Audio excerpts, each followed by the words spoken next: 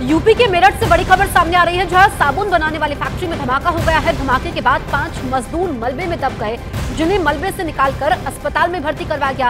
अस्पताल में घायल मजदूरों का इलाज चल रहा है। बड़ी खबर, यूपी के मेरठ से साबुन बनाने वाली फैक्ट्री में धमाका हुआ है। धमाके के बाद पाँच मजदूर मलबे में दब गए, जिन्हें मलबे से निकालकर अस्पताल में भर्ती करवाया गया।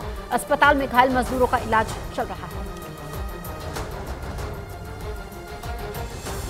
मलबे से पाँच मजदूरों को रेस्क्यू किया गया है। साबुन फैक्ट्री में जोरदार धमाका होता है। यूपी के मेरठ में धमाके के क्या कारण रहे, इसकी जाँच होगी, लेकिन पाँच मजदूरों को इसमें रेस्क्यू किया गया।